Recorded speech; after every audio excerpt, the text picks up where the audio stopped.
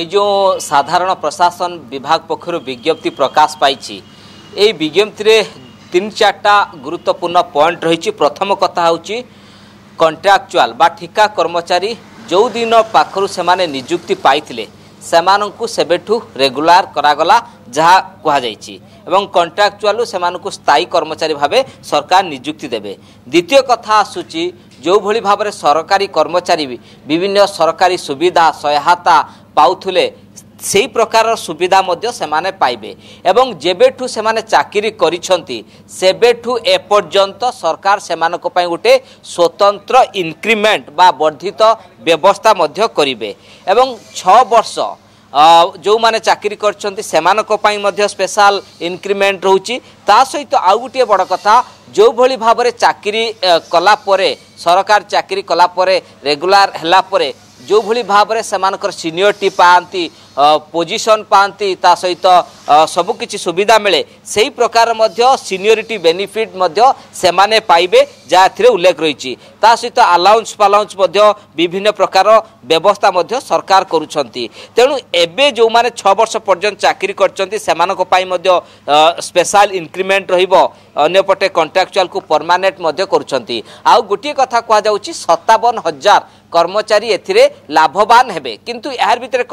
দ্বন্দ্ব বা কনফ্যুজন সামনাকু আসিছি এবং এতে উল্লেখ করেছেন সরকার যে গাইডলাইন যে সরকার কেবেঠু এমানকু কাউন্ট করছেন দুই হাজার তেরু যেহেতু দুই হাজার তের এই চুক্তিভিত্তিক অধিনিয়মটি আসিলা ঠিকা অধিনিয়ম সেবেঠু সরকার এখন কাউন্ট করছেন কিন্তু আপনার জাঁথিবে দুই হাজার তের পূর্বর অনেক বিভাগে অনেক চাকরি করছেন কন্ট্রাকচুয়াল সে সরকার গ্রহণ করবে কি সে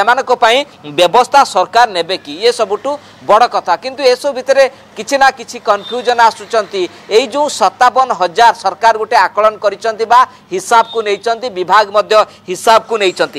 ସେ ସତାବନ ହଜାର କିଏ କିଏ ଆସୁଛନ୍ତି ଅନ୍ୟପଟେ ଆପଣ ଜାଣିଥିବେ ଯେ ବ୍ଲଗ୍ରାଣ୍ଡ ଶିକ୍ଷକ ମଧ୍ୟ ପ୍ରତିବାଦ କରୁଥିଲେ ରାଜରାସ୍ତାରେ ଯେ ସେମାନଙ୍କୁ ଏଇ ଯେ ଗ୍ରାଣ୍ଟିନେଟ୍ ବ୍ୟବସ୍ଥା କରାଯାଉ ସରକାର ମଧ୍ୟ ସେତେବେଳେ ସେମାନଙ୍କ ପାଇଁ ବ୍ୟବସ୍ଥା କରିଥିଲେ କିନ୍ତୁ ଏବେ ବି ସେମାନେ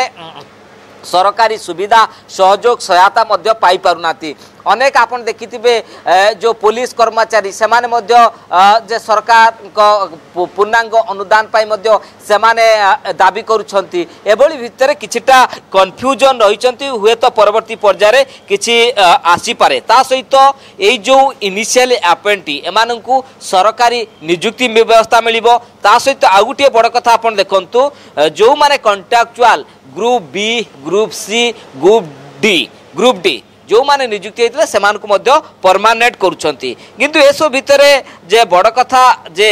କିଏ କିଏ ଲାଭବାନ ହେବେ କେଉଁ କେଉଁ ବର୍ଗର ସରକାରୀ କର୍ମଚାରୀ ଲାଭବାନ ହେବେ ଆପଣ ଜାଣିଥିବେ କଲେଜରେ ଅନେକ କଣ୍ଟ୍ରାକ୍ଚୁଆଲ ଅଛନ୍ତି ଯେଉଁମାନେ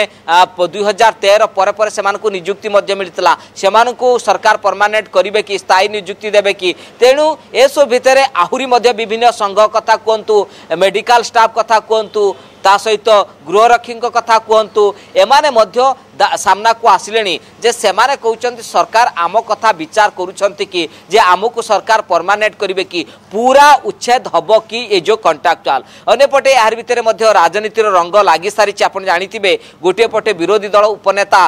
ପ୍ରଶ୍ନର ପାହାଡ଼ ମଧ୍ୟ ଛିଡ଼ା କରୁଛନ୍ତି ଯେ କାହିଁକି ଦୁଇ ହଜାର ତେରରେ ସରକାର ঠিকা আনিলে এবে তার ঠিক ন বর্ষ পরে কৌছন্তে ঠিকাকু উচ্ছেদ করা যাব এবং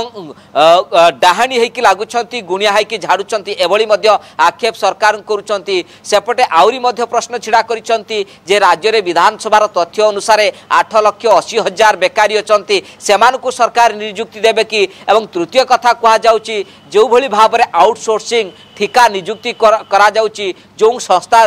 करुची सी हरिलोड करुची एक प्रश्न सामना को आसू कि एसबू भितर आम गोटे कथा स्पष्ट खाली सतावन हजार कर्मचारी सीधा सीधासख नुहे जो कथा यो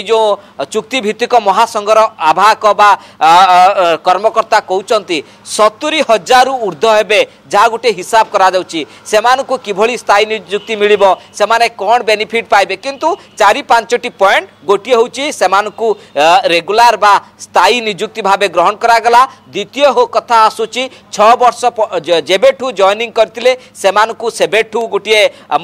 बेनिफिट बा सरकारी सुविधा मिल सहित आउ गोटे है इनक्रिमेंट व्यवस्था सरकार करुँच चतुर्थ गुरुत्वपूर्ण पॉइंट हूँ जे सिनियोरीटी दृष्टिकोण से जो भाई भाव पोजिशन ता सहित प्रमोशन पोजिशन प्रमोशन एगुड़िक व्यवस्था मिल ଗ୍ରୁପ୍ ବି ସି ଡି ଏଗୁଡ଼ିକୁ ମଧ୍ୟ ଉଚ୍ଛେଦ କରୁଛନ୍ତି ଆଉ ସରକାର ଏଗୁଡ଼ିକୁ ଦୁଇ ହଜାର ତେର କଣ୍ଟ୍ରାକ୍ଚୁଆଲ୍ ଅଧିନିୟମ ଯେଉଁ ରହିଥିଲା ସେବେଠୁ ମଧ୍ୟ କାଉଣ୍ଟ କରୁଛନ୍ତି କିନ୍ତୁ ଏସବୁ ଭିତରେ ପୂର୍ବରୁ ଯେଉଁ କଥା କହୁଥିଲେ ଯେ ଦୁଇ ହଜାର ତେର ପୂର୍ବରୁ ଯେଉଁମାନେ ନିଯୁକ୍ତି ହେଇଥିଲେ ସେମାନଙ୍କ ପାଇଁ ମଧ୍ୟ କ'ଣ ବ୍ୟବସ୍ଥା କରିବେ ତେଣୁ ଗୋଟିଏ ବିସ୍ତୃତ ଗାଇଡ଼ଲାଇନ୍ ଆସିବା ଦରକାର ଇଏ ହେଉଛି ସାଧାରଣ ପ୍ରଶାସନ ବିଭାଗ ପକ୍ଷରୁ ମଧ୍ୟ ଗାଇଡ଼ଲାଇନ୍ ଆସିଛି ପରବର୍ତ୍ତୀ ପର୍ଯ୍ୟାୟରେ ମଧ୍ୟ ଫିନାନ୍ସ ଡିପାର୍ଟମେଣ୍ଟ ପକ୍ଷରୁ ଆସିବ